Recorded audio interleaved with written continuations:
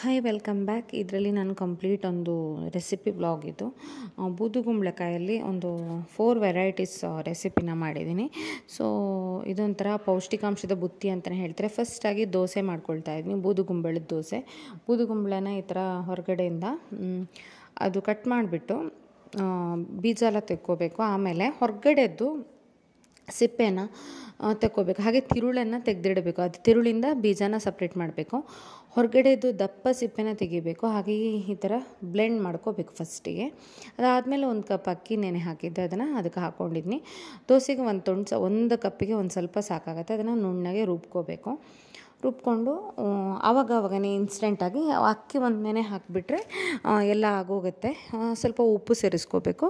ಬೂದುಗುಂಬಳಕಾಯಿ ಮತ್ತು ಅಕ್ಕಿನ ರುಬ್ಕೋಬೇಕು. ಬೂದುಗುಂಬಳಕಾಯಿನ ಫಸ್ಟ್ ರುಬ್ಬಿದರೆ ಚೆನ್ನಾಗಿ ನುಣುಪಾಗುತ್ತೆ ಅಂತ. ಸೊ ಅದಾದಮೇಲೆ ಅದಕ್ಕೆ ಉಪ್ಪೆಲ್ಲ ಸೇರಿಸ್ಕೊಂಡು, ನೀರೆಲ್ಲ ಬೇಕಾದಷ್ಟು ಕನ್ಸಿಸ್ಟೆನ್ಸಿ ನೋಡಿಕೊಂಡು ತವ ಇದು ಕಬ್ಬಿಣದ ಕಾವಲಿ ಯೂಸ್ ಮಾಡ್ತೀನಿ ನಾನು. ಕಾದ್ಮೇಲೆ ಈ ಥರ ನೀರು ದೋಸೆ ಥರನೂ ಇದು ಮಾಡ್ಬೋದು, ಈ ಥರನೂ ಇದು ಮಾಡ್ಕೋಬೋದು. ಎರಡು ಸೈಡ್ ಬೇಯಿಸಿದರೆ ಚೆನ್ನಾಗಿರುತ್ತೆ ಒಂದು ಸ್ವಲ್ಪ. ಆ ಬೂದು ಕುಂಬಳಕಾಯಿದು ಫ್ಲೇವರ್ ತುಂಬ ಚೆನ್ನಾಗಿ ಬರುತ್ತೆ. ಇದನ್ನು ಎರಡು ಸೈಡ್ ಬೇಯಿಸ್ಕೊಂಡ್ರೆ ಚೆನ್ನಾಗಿರುತ್ತೆ. ಕೆಲವೊಂದು ಸತಿ ಕೆಲವೊಬ್ಬರು ಒಂದೊಂದು ಸೈಡ್ ಬೇಯಿಸ್ಕೋತಾರೆ. ಇದಕ್ಕೆ ತೆಂಗಿನ ತುರಿ ಸೇರಿಸ್ಬೋದು. ಇನ್ನು ಹೆಂಗೆಂಗೋ ಚೇಂಜ್ ಮಾಡಿಕೊಂಡು ರೆಸಿಪಿನ ಚೇಂಜ್ ಮಾಡ್ಕೋಬೋದು. ಈ ಥರನೂ ಮಾಡ್ಕೋಬೋದು ದೋಸೆ. ಸ್ವಲ್ಪ ತೆಳಗೆ, ನಾನು ತುಂಬ ತೆಳಗೆ ಮಾಡಿಲ್ಲ, ಸ್ವಲ್ಪ ದಪ್ಪ, ತುಂಬ ದಪ್ಪನೂ ಮಾಡಿಲ್ಲ ಆ ಥರ. ಸೊ ಎರಡು ಸೈಡು ಚೆನ್ನಾಗಿ ಹೇಳ್ತಿದೆ ಆ್ಯಕ್ಚುಲಿ ಎರಡು ಸೈಡು ಮಾಡ್ಕೊಂಡು ಅದಕ್ಕೆ ಬೆಣ್ಣೆ ಹಾಕ್ಕೊಂಡು ಸರ್ವ್ ಮಾಡಿದ್ದೀನಿ ನಾನು. ನೆಕ್ಸ್ಟ್ ಬುದು ಕುಂಬಳಕಾಯಿ ತಿರುಳಿಂದು ಸಾಸಿವೆ ಮಾಡೋದು ಹೇಗೆ ಅಂತ ತೋರಿಸಿ. ನಾನು ಆವಾಗಲೇ ಹೇಳಿದೆ, ತಿರುಳನ್ನು ಬೀಜ ಸಪ್ರೇಟ್ ಮಾಡಿ ಇಟ್ಕೋಬೇಕು. ಸಪ್ರೇಟ್ ಮಾಡಿ ಉಪ್ಪು ಹಾಕಿ ಒಂದು ಸ್ವಲ್ಪ ಬೇಯಿಸ್ಕೋಬೇಕು. ಬೇಯಿಸೋದೇನೂ ಮಾಡ್ಬೋದು, ಹಸಿಯಾಗಿ. ನಾನು ಬೇಯಿಸ್ಕೊಂಡು ಮಾಡ್ಕೊ ಉಪ್ಪು ಹಾಕಿ ಬೇಯಿಸಿದ್ಮೇಲೆ ಬೇಯಿಸಿದ ತಿರುಳನ್ನು ನಾವು ಮಿಕ್ಸರ್ ಜಾರ್ಗೆ ಹಾಕ್ಕೋಬೇಕು. ಅದಾದಮೇಲೆ ಒಂದು ಸ್ವಲ್ಪ ಅರ್ಧ ಕಪ್ ಅಂದಾಜು ತೆಂಗಿನ ತುರಿ ಹಾಕ್ಕೋಬೇಕು ಅದಕ್ಕೆ ಒಂದು ಅರ್ಧ ಕಪ್ ಸಾಕು. ಹಾಗೆ ಒಂದು ಸ್ವಲ್ಪ ಸಾಸಿವೆ ಹಾಕ್ಕೋಬೇಕು. ಹಾಗೆ ಸ್ವಲ್ಪ ಜೀರಿಗೆ, ಎರಡು ಮೆಣಸು. ಹಾಕಿ ಅದನ್ನು ರುಬ್ಕೊಂಡು ಪಾತ್ರೆಗೆ ಹಾಕಿಬಿಟ್ಟು ಒಂದು ಎರಡು ಮೂರು ಸೌಟ್ ಆಗುವಷ್ಟು ಮಜ್ಜಿಗೆ ಹಾಕ್ಕೋಬೇಕು. ಅಷ್ಟೇ ಬುದು, ಇದನ್ನು ಕುದಿಸೋದೆಲ್ಲ ಏನೂ ಇಲ್ಲ. ತಿರುಳನ್ನ ಬೇಯಿಸ್ಕೊಂಡಿದ್ದೀನಿ. ಬೇಯಿಸೋದು ಬೇಡ ಅಂದರೆ ಹಾಗೆ ಹಸಿಯಾಗಿನೂ ಮಾಡ್ಬೋದು. ಇದು ಬೂದು ಕುಂಬಳಕಾಯಿ ತಿರುಳಿನ ಸಾಸಿವೆ.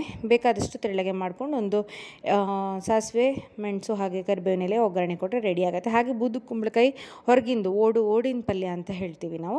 ಅದನ್ನು ಹೇಗೆ ಮಾಡೋದು ಅಂತ ಹೇಳ್ತೀನಿ. ಸೊ, ಅದಕ್ಕೆ ನಾನು ಎಣ್ಣೆ ಹಾಕ್ಕೊಂಡೆ ಬಾಣಲಿಗೆ ಸಾಸಿವೆ, ಉದ್ದಿನಬೇಳೆ ಹಾಗೆ ಕಡಲೆಬೇಳೆ ಕರಿಬೇವಿನ ಎಲೆ ಎಲ್ಲ ಹಾಕಿ ಅದಾದಮೇಲೆ ನಾನು ಹೊರಗಿಂದು ನೋಡಿ ಈ ಥರ. ಆ ಗ್ರೀನ್ ಸಿಪ್ಪೆನ ಸ್ವಲ್ಪ ಲೈಟಾಗಿ ತೆಕ್ಕೋಬೇಕು. ಅದಾದಮೇಲೆ ಅದ್ರ ಒಳಗಡೆ ದಪ್ಪ ಇರುತ್ತಲ್ಲ, ಅದು ತೆಕ್ಕೊಂಡು ಅಚ್ಕಾರದ ಪುಡಿ ಜೀರಿಗೆ ಪುಡಿ, ಕೊತ್ತಂಬರಿ ಪುಡಿ ಹಾಕ್ಕೋಬೋದು. ಇಲ್ಲ, ನಾನು ಸಾಂಬಾರು ಪುಡಿನೂ ಹಾಕ್ಬೋದು. ನಾನು ಸಾಂಬಾರು ಪುಡಿ ಹಾಕಿದ್ದೀನಿ. ಸಾಂಬಾರು ಪುಡಿ ಮತ್ತು ಉಪ್ಪೆಲ್ಲ ಹಾಕ್ಕೊಂಡು ಸ್ವಲ್ಪ ಮುಚ್ಚಳ ಮುಚ್ಚಿ ಬೇಯಿಸ್ಕೋಬೇಕು. ಬೇಗ ಬೆಂದು ಹೋಗುತ್ತೆ. ನೀರು ಬೇಕಾದರೆ ಸ್ವಲ್ಪ ಸೇರಿಸ್ಕೋಬೋದು. ಹಾಗೆ ಬೆಲ್ಲ ಹಾಕೋದು ಮರ್ತಿದ್ದೆ. ಹಾಗೆ ಬೆಲ್ಲ ಹಾಕ್ಕೊಂಡೆ ಕೊನೆಗೆ ಒಂದು ಸ್ವಲ್ಪ ತೆಂಗಿನ ತುರಿನ ಹೀಗೆ ಬೆಂದ ಮೇಲೆ ಹಾಕಿದರೆ ಬೂದು ಕುಂಬಳಕಾಯಿ ಸಿಪ್ಪೆದು ಪಲ್ಯ ರೆಡಿ ಆಗುತ್ತೆ. ನಾವು ಓಡಿನ ಪಲ್ಯ ಅಂತೀವಿ ನಮ್ಮ ಊರ ಕಡೆ. ಬುದ್ದು ಕುಂಬಳಕಾಯಿ ಓಡಿನ ಪಲ್ಯ ಅಂತ. ಸೊ ತುಂಬ ಪೌಷ್ಟಿಕಾಂಶ ಅಂತ ಹೇಳ್ತಾರೆ ಎಲ್ಲರೂ ಹಾಗೆ ಬೂದು ಕುಂಬಳಕಾಯಿ ಕಟ್ ಮಾಡ್ಕೊಂಡಿದ್ದೆ. ಅದರಲ್ಲೊಂದು ಬೋಳು ಹುಳಿ ಮಾಡಿದ್ದೀನಿ. ಫಸ್ಟ್ ಬೂದು ಕುಂಬಳಕಾಯಿನ ಕಟ್ ಮಾಡಿಕೊಂಡು ಅದಕ್ಕೆ ನೀರು ಹಾಕ್ಕೋಬೇಕು. ನೀರು ಹಾಕ್ಕೊಂಬಿಟ್ಟು ಅದಕ್ಕೆ ಒಂದು ಸ್ವಲ್ಪ ಎಷ್ಟು ಬೇಕೋ ಅಷ್ಟು, ನಮಗೆ ಎಷ್ಟು ಬೇಕಾಗುತ್ತೋ ಅಷ್ಟು ಹಾಕೋಬೋದು ಇದು ಬೋಳು ಹುಳಿ ಉಪ್ಪು ಹಾಕೋಬೇಕು ಉಪ್ಪು ಹಾಕೊಂಡ್ಮೇಲೆ ಒಂದು ಸ್ವಲ್ಪ ಬೆಲ್ಲ ಬೆಲ್ಲ ಯಾವತ್ತೂ ಫ್ಲೇವರಿಗೆ ಹಾಕೋದು ಸಿಹಿ ಆಗಬೇಕು ಅಂತ ಅಲ್ಲ. ಹಾಗೆ ಒಂದು ಸ್ವಲ್ಪ ಸಾಂಬಾರು ಪುಡಿ ಹಾಕ್ಕೊಂಡಿದ್ದೀನಿ ಇದಕ್ಕೆ. ಸಾಂಬಾರು ಪುಡಿ ಹಾಕ್ಕೊಂಡು ಎಷ್ಟು ಬೇಕೋ ಖಾರ, ಅದರಲ್ಲೇ ಮೆಣಸು ಎಲ್ಲ ಇರತ್ತಲ್ವ, ಸಾಂಬಾರು ಪುಡಿಲಿ ಹಾಕ್ಕೊಂಡು ಮುಚ್ಚಳ ಮುಚ್ಚಿ ಬೇಯಿಸ್ಕೋಬೇಕು.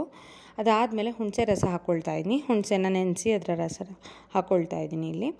ಸೊ ಇವಾಗ ಇದು ಬೆಂದಿದೆ, ಕುದ್ದಿದೆ. ಚೆನ್ನಾಗಾದಮೇಲೆ ಎಣ್ಣೆ, ಸಾಸಿವೆ ಕರಿಬೇವಿನಿಲೆ ಒಗ್ಗರಣೆ, ಮೆಣಸು ಎಲ್ಲ ಹಾಕಿ ಒಗ್ಗರಣೆ ಕೊಟ್ಟರೆ ಬೂದು ಕುಂಬಳಕಾಯಿದು ಬೋಳು ಹುಳಿ ರೆಡಿ ಆಗುತ್ತೆ. ಬೇಕು ಅಂದರೆ ಬೆಳ್ಳುಳ್ಳಿ ಒಗ್ಗರಣೆನೂ ಹಾಕ್ಬೋದು. ಅದು ನಮ್ಮ ನಮ್ಮ ಇಷ್ಟಕ್ಕೆ ಬಿಟ್ಟಂಥದ್ದು. ತಿಂತಾರೆ ಮನೆಯಲ್ಲಿ ಅಂತ ಅಂದರೆ ಹಾಕ್ಬೋದು. ನನಗೂ ಇಷ್ಟನೇ. ಹಾಗೆ ಇಷ್ಟು ವೆರೈಟಿ ಅಡುಗೆ ಮಾಡಿದ್ದೀನಿ. ಬುದು ಕುಂಬಳಕಾಯಿ ನೀವು ಟ್ರೈ ಮಾಡಿ ಟ್ರೈ ಮಾಡಿ ಕಮೆಂಟ್ ಸೆಕ್ಷನಲ್ಲಿ ತಿಳಿಸಿ. ಸೊ ಮುಂದಿನ ವೀಡಿಯೋ ಜೊತೆ ನಿಮಗೆ ಸಿಗ್ತೀನಿ. ಮಾಡ್ತೀನಿ ಅಲ್ಲಿವರೆಗೂ ಟೇಕ್ ಕೇರ್ ಬಾಯ್ ಬಾಯ್